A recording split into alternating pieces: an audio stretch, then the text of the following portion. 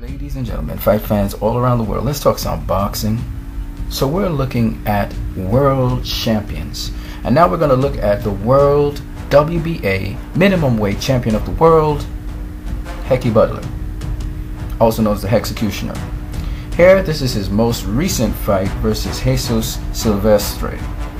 Now, Hekkie Budler won this fight, but he's both the IBO and WBA uh, minimum weight champion of the world at present. Um, what can I say about him? He's an inside fighter, but he can also fight a little bit on the outside. Um, but he's mostly about inside fighting. As you can see, he uses left hooks. He's kind of like the Mexican style, but not really. He also uh, jabs and, and, utilizes the jab. He has basically good uh, boxing technique. He uses the bob and wheel style, as you can see there. Uh, Jesus Silvestre is a traditional sort of Mexican fighter, but he uses his jab to get in. And then again, the usual hooks and stuff. Uses the high guard to get in as well. So Hekkie Budler is kind of like that style of fighting, more inside fighting. As you can see, both of them are, are kind of jostling for position on the inside. So that's basically Hekkie, Hekkie Budler's game plan. He's an orthodox fighter, and as you can see, uh, Jesus Silvestre well, you can't really see right now. He's also an orthodox fighter. As you can see, they use that hammer punch, kind of like what uh, Gennady Golovkin uses. It's just a Mexican sort of style of fighting, a lot of hooks involved, all right, a lot of bending and, and fighting like that. So there's the inside fighting right there. Okay? All right, let's move on here. So Hekkie Budler Well, Hekkie Budler has lost one match out of his 29 and he has 9 KOs, so he's not really a knockout artist. But he does a lot of hard work on the inside. And like I said, he won both titles, the WBA minimum work, uh, minimum weight title and the IBO minimum weight title. And he has defended them a number of times. He won the uh, vacant WBA world minimum weight title from Carlos Diaz. And he won the IBO vacant IBO minimum weight title uh, against Michael Landero. Okay, both were unanimous decisions. Uh, no, actually, no. The second one, the WBA title, which was against Carlos Carlos Diaz. Carlos Diaz. He actually knocked him out in the. Um, his style is a busy style. There's a lot of activity. There's a lot of punches thrown. Uh, his defense can be penetrated, so you can get your shots in. Um, pretty decent fighter from South Africa. Um, somebody should pay attention to. But in this division, the guy who really runs that division is Wanheng Menayothin. And uh, Wanheng Menayothin is really, I'm really kind of impressed with him, as well as Katsunari Takayama. So um, I don't know if he'll ever pit himself against these guys to unify some more belts. We'll see. But at present, he has never really been a lineal champion, so I don't really know if he will or will not. Alright, here's a, a jokey, um, just a jokey, um, side note. Uh, the interim champion is Knockout CP Freshman. This guy is, that's his literal name from Thailand. So, uh, he's undefeated, has 10 fights, and fight by knockout. So that should be something that you, you, you gives you a little chuckle, okay?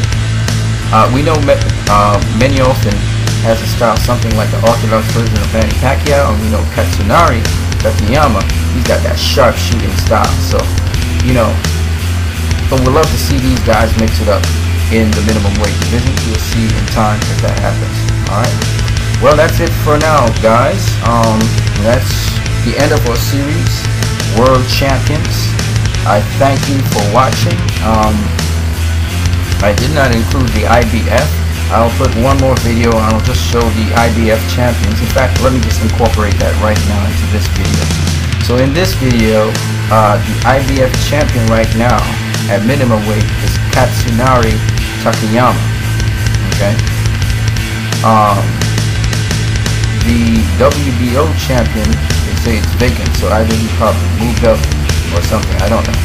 In the junior flyweight division, also known light flyweight, Donnie Nietes was the WBO, WBC Pedro Guevara, Ryoichi Taguchi.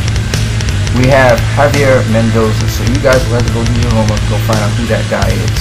Javier Mendoza. He's from Mexico.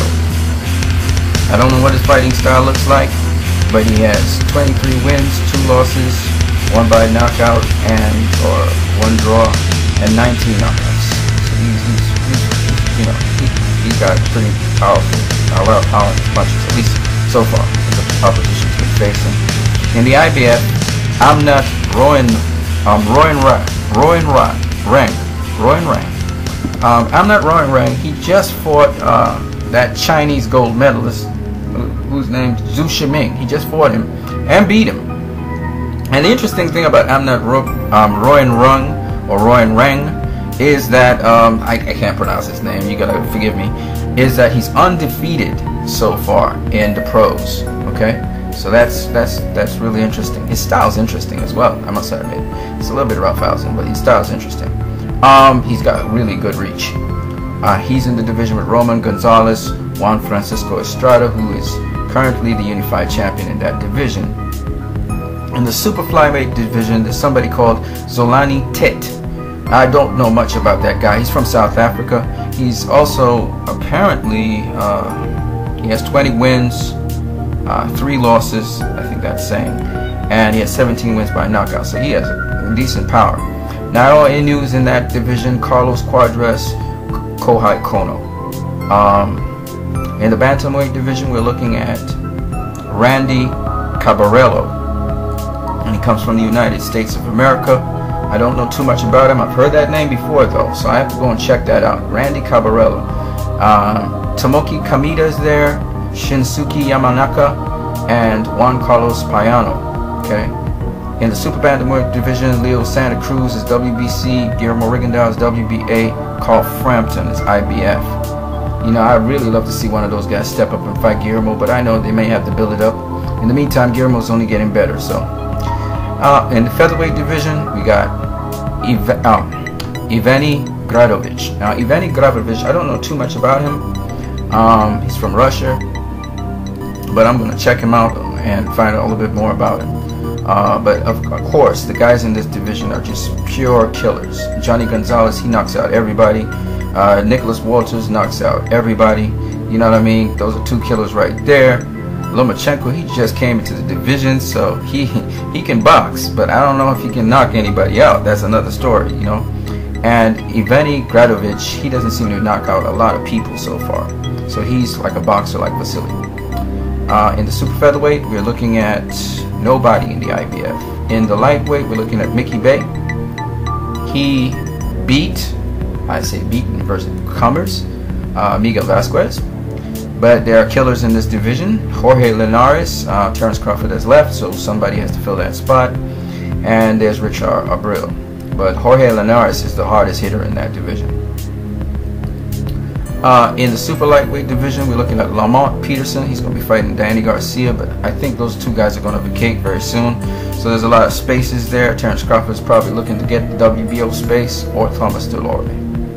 In the welterweight division, we're looking at Kell Brook. In the super welterweight division, we're looking at Cornelius Bundrage. Nobody in the middleweight division so far. Um, we'll find out soon enough when that gets filled. In the super middleweight, same thing. I think um, Andre Dirrell is supposed to fight um, DeGale, so that spot will be filled very soon. In the light heavyweight, Sergey Kovalev.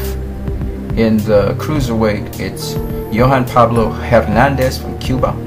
I think I mentioned him already. And of course, Vladimir Klitschko is in the heavyweight division. So, suffice it to say that um, these these are the IBF champions you need to look at remember, it's very difficult to become world champion. I know I've been talking for a good period of time, but I do hope you guys will go investigate these guys. This is the last video of the championship series. You guys have a great day.